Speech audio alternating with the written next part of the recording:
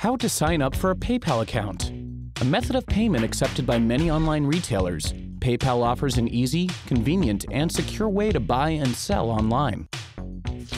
You will need a valid email address, a credit or debit card, and a checking account. Step 1. Visit the PayPal website at paypal.com and sign up for an account using a valid email address. Step 2. Activate the account by opening the automatically generated email sent to your inbox, clicking on the link in the email, and entering your password. Step 3. Link your credit or debit card from the account profile page by entering the card number, security code, and your billing address. Step 4. Link your checking account through the profile page of your PayPal account by providing your account and routing numbers.